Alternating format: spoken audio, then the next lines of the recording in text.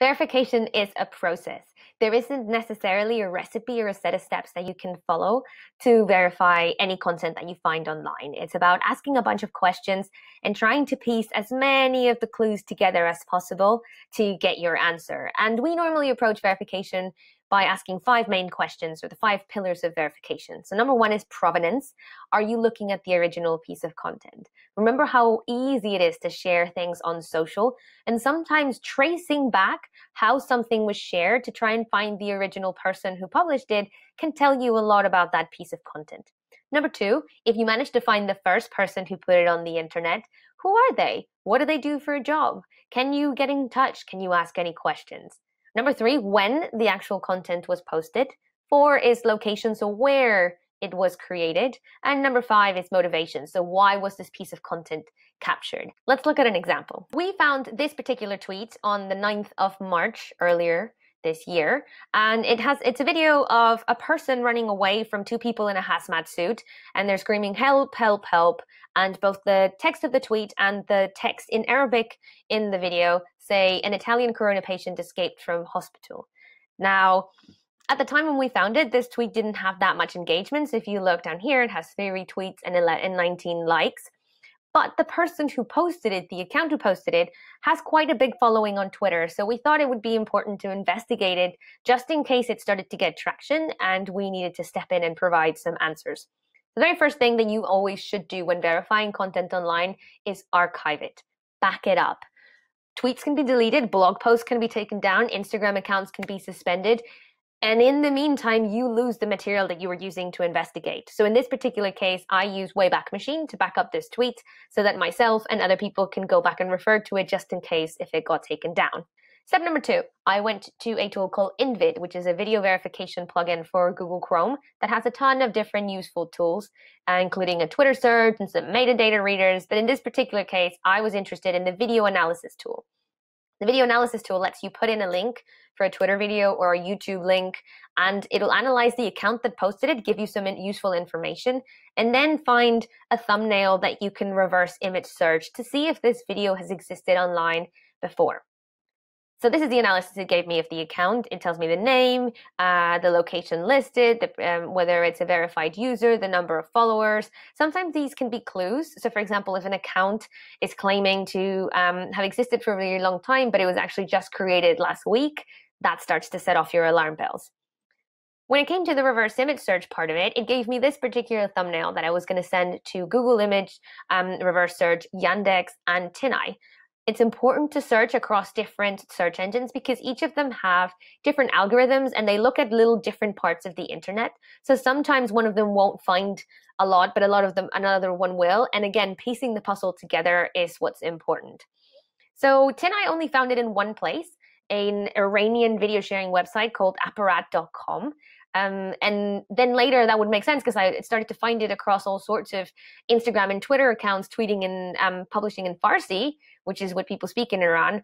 And it's because this website picked it up and then everyone started sharing it. And you can see already this was published on the 1st of March of 2020. So the 9th of March version that I saw on Twitter wasn't the first time this has existed online. Then Yandex. Yandex found a bunch of different examples on Twitter that were sharing this video, um, and and sort of like Twitter aggregating websites like Twibbler and Twitter Trend, Trends Map, um, and that was able to give me a bunch of other spaces where it had been shared online. Google Images um, found it on 9gag, which is a website that people use to share funny memes and content. A bunch of other Twitter accounts, TikTok, Instagram, Reddit, and different places. So what I did was I went through and opened as many of these links as I could, trying to see if I could find number one, the original person who posted it, the oldest version I could find, and also the highest resolution video. Because some of these are really pixelated because they've been reshared and recropped and I wanted to find the best resolution possible to see if I could read some of the text in the either street signs or were there any clues that I could use to figure out where this video was from. And eventually I found this other version from what looks like Snapchat because of this strap that's in the middle of the video. And the important thing about this version is that it was the clearest one that I could find. I'm not sure if it translates to how you guys are seeing the screen, but when I downloaded it, it actually let me read some of the text in the video, and that was super important. So what do we know so far? People are claiming the video is from different locations, so not just Italy. There are versions online that I could find dating back to at least 2015. Um, it has been posted in websites for memes and GIFs and funny content. Most of the versions are low quality, which means that it's been shared, downloaded, reshared, reposted, and we can know for certain this is not from March 2020. Now, this might be enough information for you to then say, you know what, we're not going to run it, right? Because I can't it's not from this year, it's not a corona patient, and then it doesn't really matter where it came from because I know what it's not, right? And that might be enough for your editor, and a simple search through InVid would have gotten you there. But we can dig deeper using that version that I found from Snapchat that gives you actually a lot more of information, I started to pause the video at different times to read, try and read the signs and get some visual clues to geolocate it. Geolocating is figuring out where something was created by using visual clues in images and videos. So, for example, in this frame, you can see that it's a car park in a corner of a street where there's some street lights, that the billboard at the back says 25C like like how Americans write cents, so maybe it's in the US. Then they run past this really colorful building in a corner. So could I eventually find that on Google Street View? Because it's a super distinctive looking building. What are the street signs like, and do they look like a specific country? Um, then they run past this other building that has a, a, business in the front. I don't know if you can see it, but that clearly to me reads D apostrophe M something and then an S and then U and I like uni. Um, and you can also see the kinds of cars that people are driving. So they're bigger, not really European looking cars. Um, and the side of the road that they're driving on means that at least they're not in the UK.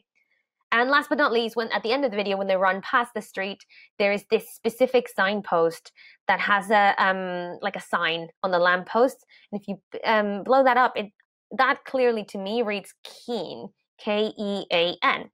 So I did what we all do when we have a question. I typed it into Google.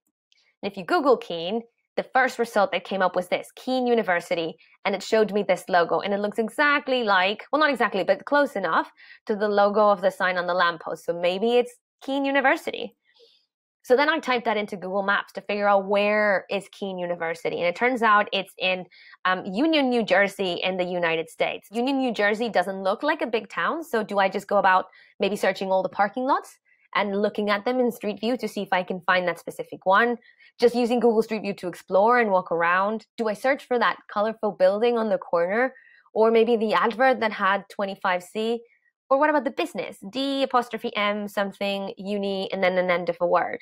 The good thing about looking for businesses as clues is that most of them tend to be listed on Google. They have websites, they have Facebook accounts. They want people to find them to get their clientele and their custom. So I started thinking, how can I finish this sentence? DM, unicorn, uniform, unisex.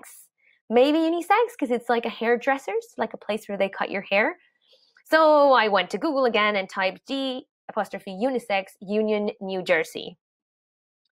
And there it is. Demoro's Unisex is a hair salon listed on Facebook um, on 292 Morris Avenue, Elizabeth, New Jersey. Now, Elizabeth and Union, are they the same thing? Are they different neighborhoods in the same place? Let's find out. I took that address and plotted it onto Google Maps and actually found the other thing that I could verify, which was that really colorful building on the corner. And if you use Google Maps to look around, behind us there's a car park.